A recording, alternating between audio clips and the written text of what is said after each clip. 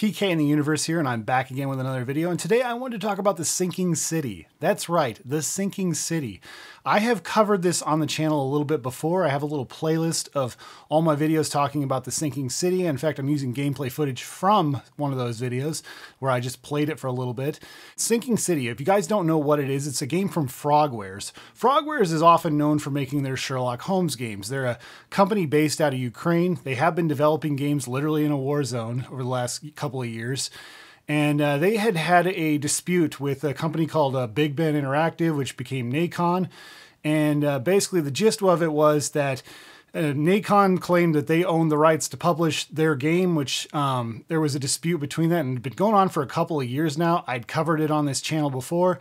So I want to do a quick follow up because um, on January 2nd, it was announced that Frogwares is now the sole publisher of this game. They were the publisher for the Switch version, the PS5, and the um, Xbox Series version, but they weren't for the Xbox One, PS4, and Steam version. But they also had one on Games Planet. Um, they had a DRM free version on Games Planet. This game was also, I think, on Epic, I want to say.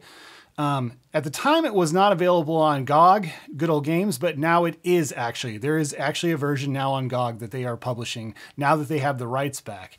I was a person who got this on Nintendo Switch. I also have the Games Planet version. Interestingly enough, the Switch version is only 8 gigs, whereas the Games Planet version is like 35 gigs and has 11 different files that you have to download. That's how I know this is actually a DRM free version. But what's interesting with uh, Games Planet is for the updated version, they're going to be issuing Steam keys to existing owners, and they're currently selling Steam keys actually on Games Planet.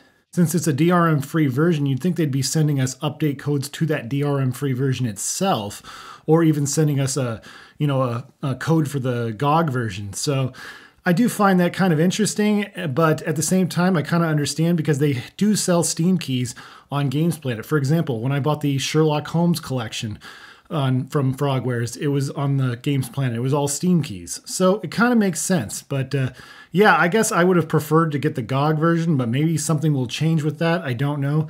They still haven't officially said one way or another which versions we're getting, but I assume it's going to be Steam keys. But uh, Anyways, yeah, I'm really glad to see that Frogwares finally has the sole publisher now of the sinking city. So, because I know this has been a huge thing, and they were obviously pretty upset that this was still going on, you know, and that basically the gist of it was that Nacon was not paying them for copies sold, and they were still continuing to sell it. But uh, now that has been remedied, I guess, and they can continue to sell their own game. So, I think that's a huge win, and I'm glad to see that's what's happening. But, anyways, what are your guys' thoughts? Comment below. I'd love to hear what you have to say. Anyways, thank you guys so much for watching and stay awesome in this universe. Thanks. Bye.